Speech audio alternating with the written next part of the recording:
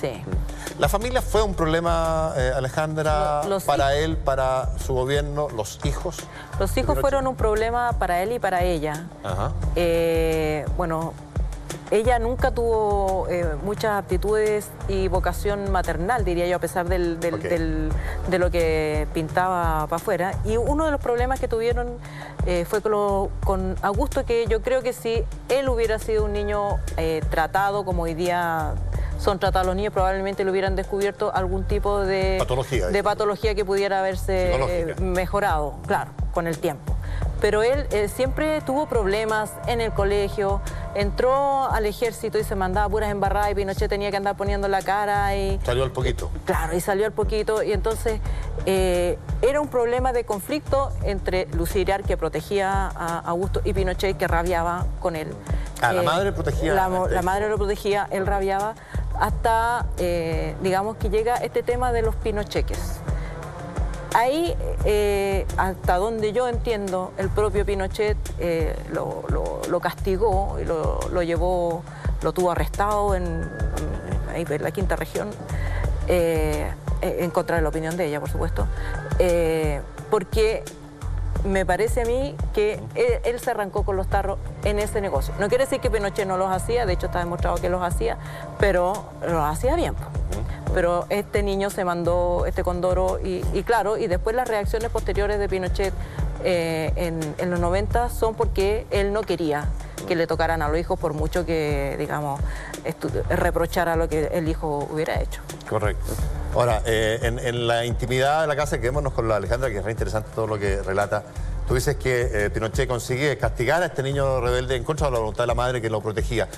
¿Cómo era esa convivencia cotidiana en la casa de los Pinochet? ¿Quién era ella? Es verdad que le decían, me soplaban hace un rato, en el ejército la generala que tomaba no solamente decisiones por sobre Pinochet en su casa, sino también en el mismo ejército y en, y en la moneda. Sí, pues ella tomaba... ¿Qué decisiones tomaba?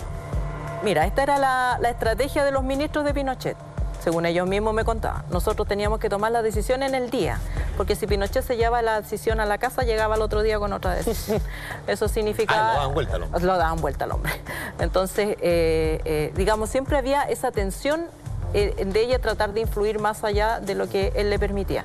Ahora, la obsesión de ella era con las infidelidades de los maridos en el ejército, en el gobierno. Y si Yo creo ella que se- me vas a- me vas a contar esta historia que es bien célebre ya por experiencia propia, verás tú, de la misma Lucía, ¿no? Claro. Porque Pinochet Porque fue... ella, es claro, ella estaba cobrando una Infiel- cuenta pasada, Claro.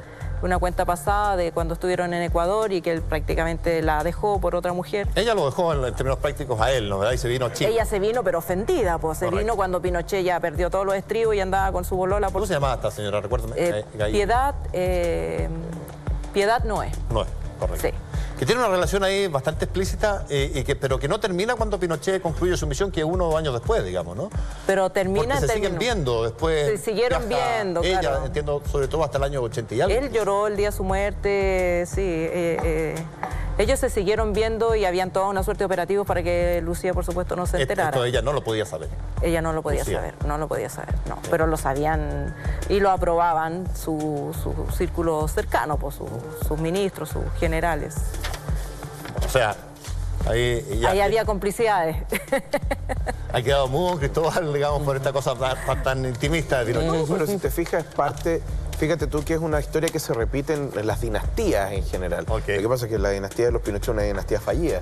Claro. Eh, eh, había un viejo dicho. Pero fue A- a- bastante larga, había un viejo dicho que salía en esta película Julio comienza en julio, que dice que el, el abuelo hace la fortuna, el padre la administra y el hijo la dilapida. El, el- claro, el padre hace el. Claro, el- padre hace la fortuna, o sea, el, abuelo y el hace nieto la dilapida. Claro, el nieto la dilapida, claro. ¿Ah? Entonces, eh, ahí ocurre algo más o menos que no alcanza ni siquiera el nieto a llegar a dilapidarla porque la dilapida el hijo, en todo caso. Hay un tema con, con- con- con Pinochet que lo más probable es que en algún momento él pensó que sus hijos podían eventualmente ser defensores del legado de, de su administración, pero eventualmente uno se da Ninguno dio cuenta el que no hay nada, ninguno. Él tenía preferencias por algunos de sus hijos, ¿no? Sobre Él todo tenía preferencia hija. por Jacqueline. Por Jacqueline, que Eh, era la Jacqueline era su la- regalona. eh, claro. Pero Jacqueline tampoco... No, no asumió nunca un rol no, político. No, y ella tuvo muchos mucho conflicto con su madre porque era enamoradiza, eh, porque tenía Era bien encachada también. varias relaciones. Eh, Sí, era- cuando joven sí, lo que pasa es que... embarazos de padres no Ah, aprobados por claro. la madre. Ah. Entonces ahí hay una repetición de alguna Y manera. ahí de- servía una- mucho Manuel Contreras, porque Manuel Contreras era el que limpiaba todo el...